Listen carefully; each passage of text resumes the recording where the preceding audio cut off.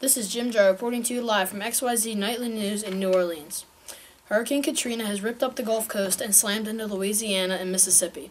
The winds have exceeded up to 170 miles per hour and storm surges up to 26 feet. Here in New Orleans, we have experienced complete devastation. We are a low-lying port city. That means we sit below sea level. The heavy rains and storm surges have overwhelmed our levees and have caused massive flooding.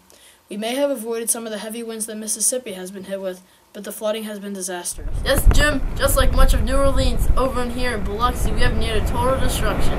Hurricane winds, 28 foot storm surges, and 55 foot sea waves have been pushing casino barges, boats, and debris into town. Mississippi has been discussing emergency evacuation plans for many days. How Scotty Henry's brother Roger eats a Reese's peanut butter cup. This is my kid brother. He loves his Reese's, as you can see. But, well, he eats it real weird. How do you do that, Raj? There's no wrong way Good. to eat a Reese's. Back here live in Biloxi.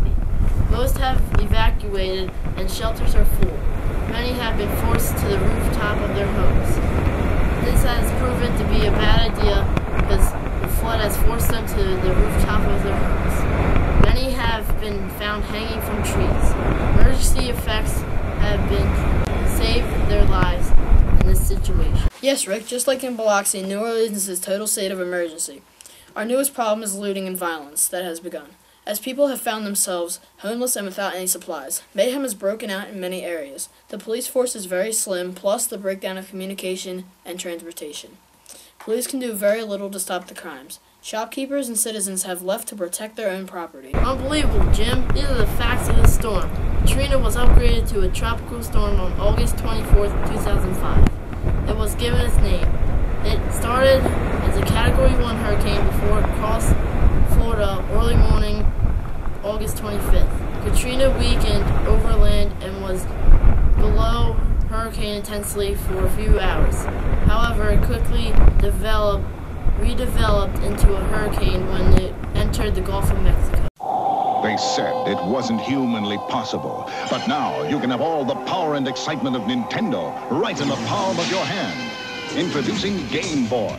It's portable, it's in stereo, and its games are interchangeable. Plus, Game Boy comes with the outrageous new game, Tetris. And for head-to-head competition, use the revolutionary video link and blow your opponent away. Game Boy, only from Nintendo. Now you're playing with power, portable power. Back here live in Biloxi. On August 27th, Hurricane Katrina hit a Category 3 and quickly developed into a Category 5 intensity the next day.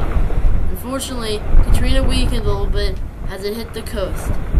In early hours of August 28th, Katrina hit the coast of Louisiana as a Category 3 hurricane, then went back over for a few hours before it made its third and final cross land as it hit hurricane near Louisiana and Mississippi border. Hurricane Katrina intensity well into Mississippi. Back to you, Jim. Wow, Hurricane Katrina will definitely be on our minds for many years to come.